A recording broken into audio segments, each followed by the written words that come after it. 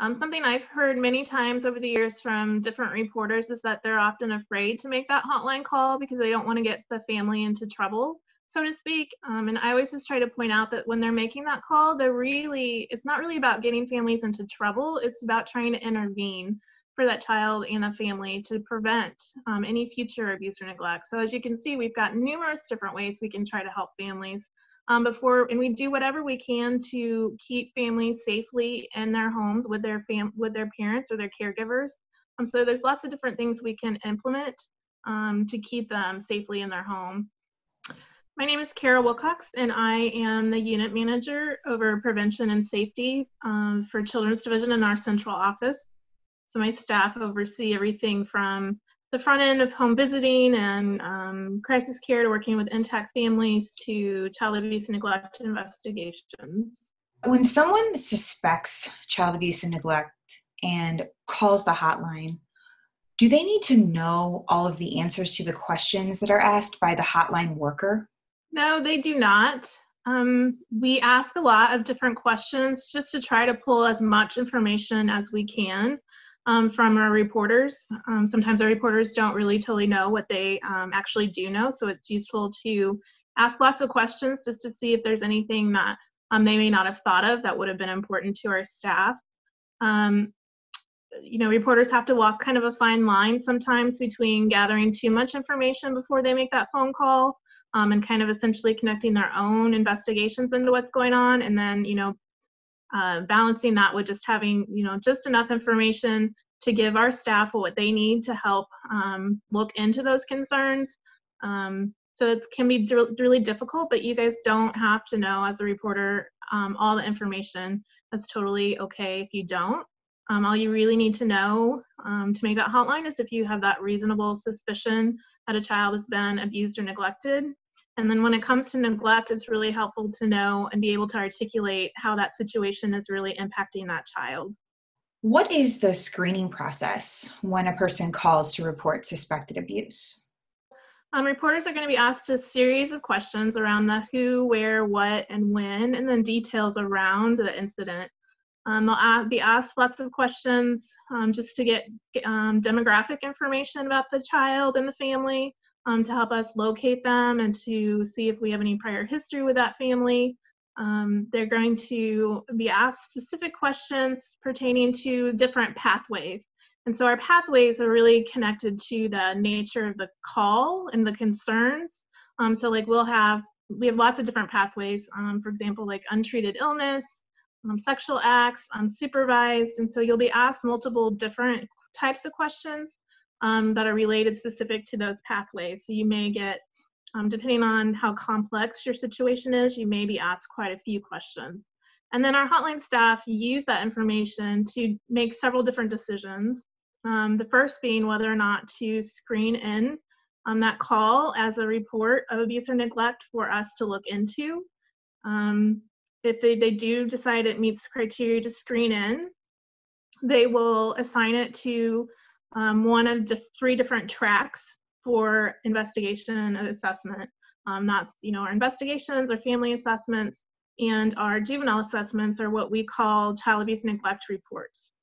And so if that concern doesn't rise to the level of child abuse and neglect to classify it as an actual report, we then look to see if it meets one of several different, um, what we call referral criteria. And so those referrals we have um, preventive service referrals, non-caretaker referrals, um, non-child abuse, neglect, fatality referrals. Those don't rise to the level of actual child abuse and neglect, but there's something going on with that family that we need to look into and do something about. Um, so one of our common referral types um, is a preventive service referral. Like say we have an open case on a family, we still want to pass that information on to that case manager in case there is anything that they do need to actually address. Um, sometimes we get referrals when, you know, say a parent's incarcerated, but the situation doesn't actually um, rise to that level of abuse and neglect of the child, but maybe they don't have an appropriate caretaker for that child while they're incarcerated. So there's different things they look at, even if it doesn't rise to the level of a uh, of a child abuse and neglect report. Um, and then lastly, if it doesn't rise to the level of an actual CAN report or a referral, then our hotline staff are going to just document that call.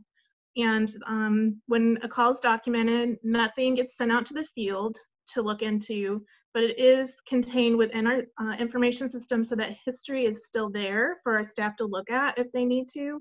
Um, and then if we get um, three or more documented calls in a 72 hour time period, we will review all of those together to see if um, together they rise to the level of us intervening with that family.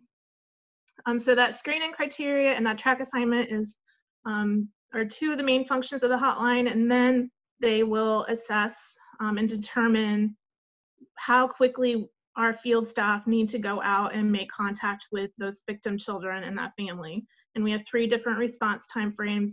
Our emergency reports, we have to see victim children within three hours. Most of our reports fall into a 24 hour period of time.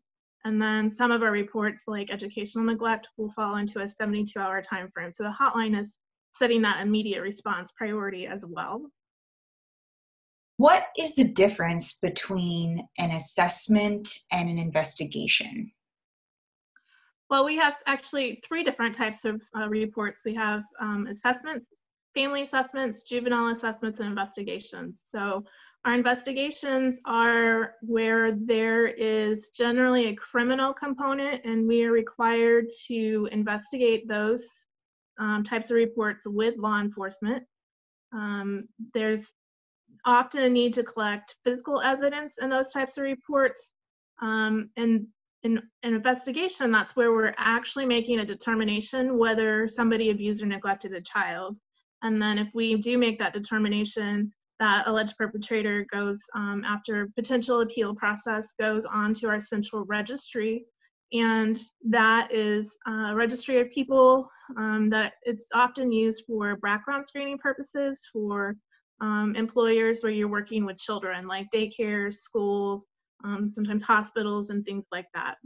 Most of our reports come in as a family assessment um, and that's where we're really just looking at the situation as a whole for that family and determining whether or not um, they have any kind of need for services um, to help prevent uh, future acts of, of, abuse or neglect. Um, we're not putting people on the central registry for a family assessment. We're really just trying to figure out what's going on and to really provide some um, assistance for that family. And then we have our juvenile assessments where those are reports where a child under the age of 14 has been alleged to have committed a sexual abuse act against another child. And for those types of reports, we're also again really looking at that family, that child who's potentially having some sexual behaviors um, to see if there's anything that we need to do to help intervene to prevent those behaviors from escalating in the future.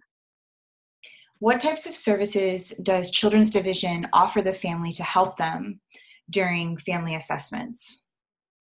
So we have all sorts of different services that we can offer to families. Um, first and foremost, we can always refer families to any outside community agencies um, for any services uh, that they may need. So if they need mental health services or substance abuse services or having some problems with housing or things like that, we will make referrals to outside agencies. Um, we also have several programs within the Children's Division that we may refer families to depending on the situation that's going on. So we have what we call family-centered services cases. Um, and so if during our hotline process we um, decide that that family needs some more um, intensive intervention from us and more ongoing intervention from us, we can open a family-centered services case um, and assign that to a case manager who's you know, really trying to work with that family, um, monitoring the situation that's going on, um, determining, doing an assessment, determining um, what kinds of services that family may need.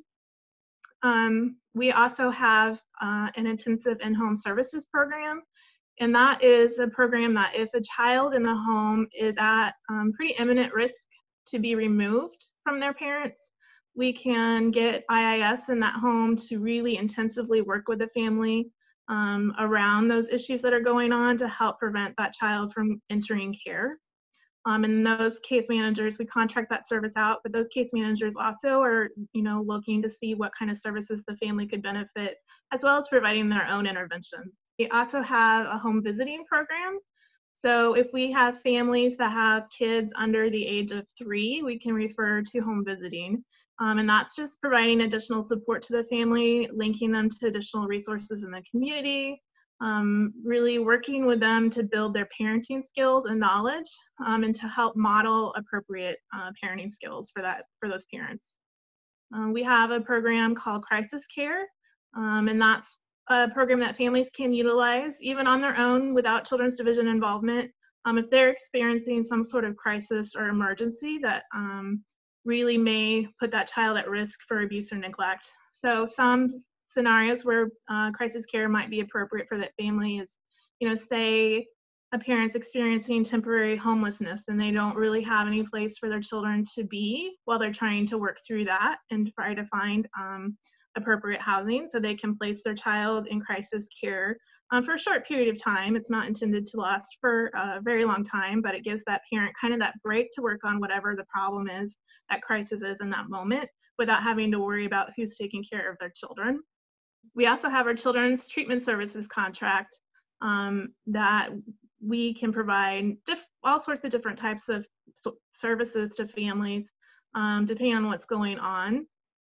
Um, some examples of those services include mental health services, parent education, parent aid services, um, domestic violence batterers intervention programs, substance use treatment. So if there's no other funding source for that family, like um, if they don't have Medicaid, we can sometimes, especially more for our foster children, um, we can provide those types of services to meet whatever the need is for that family. So those are just some of the services that we can provide to families. Um, something I've heard many times over the years from different reporters is that they're often afraid to make that hotline call because they don't want to get the family into trouble, so to speak. Um, and I always just try to point out that when they're making that call, they're really, it's not really about getting families into trouble, it's about trying to intervene for that child and the family to prevent um, any future abuse or neglect. So as you can see, we've got numerous different ways we can try to help families um, before, and we do whatever we can to keep families safely in their homes with their fam with their parents or their caregivers. Um, so there's lots of different things we can implement um, to keep them safely in their home. Um, so what I just described was just, you know, really some of the bigger services that we have, but there's lots of different things we can do.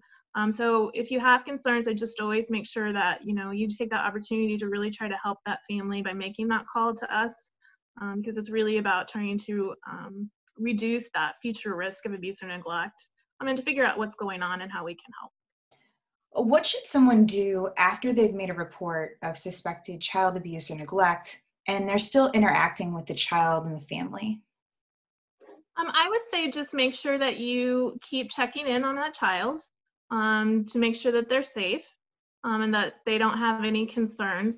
Um, offer as much support as you can um, to them um, I also I would say, you know, don't ever make a promise to a child that something is going to happen and make their situation um, different because you know lots of different factors may come into play and that that may not you may not always be able to follow through on those promises.